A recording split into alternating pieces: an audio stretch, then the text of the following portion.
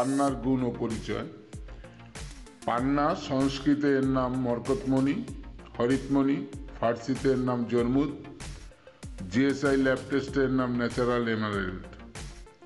খনিজ শাস্ত্র অনুসারে এটি অ্যালুমিনিয়াম, ব্রোনিয়াম সিকত বালি ও অক্সিজেন যোগে ক্লামিক অক্সাইড মিশে এটি গভীর সবুজে পরিণত হয়।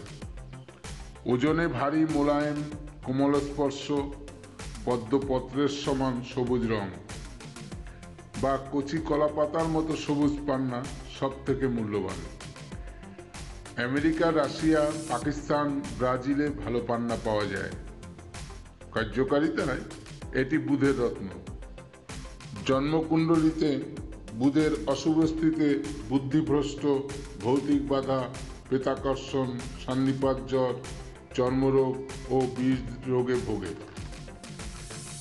সেই সব জাতকের পান্না সোনার আংটিতে বা তামার আংটিতে বসিয়ে শুভ নক্ষত্র যোগে যোগ্য ব্যক্তির দ্বারা শোধন করে কনিষ্ঠ আঙ্গুলে ধারণ করা উচিত।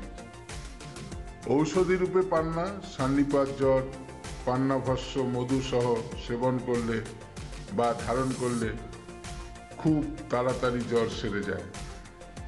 কোষ্ঠকাঠিন্যতা, মধুমেহ রোগে পান্নাভস্য খাওয়ালে রোগ সেরে যায়। অনুৎসাহী বুদ্ধিযুক্ত মানুষদের পান্নাভস্য মধুসহ চার একাংশ রতি পরিমাণ খেলে রোগ তাড়াতাড়ি ভালো হয়ে যায়।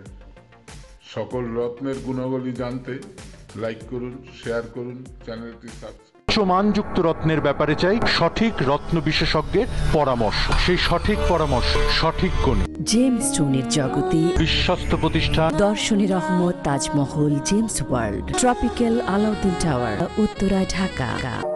তাহলে ভিউয়ার্স কেমন লাগল ভিডিওটি? কমেন্টে জানাবেন। আর ভিডিওটি ভালো লাগলে লাইক ও শেয়ার করবেন।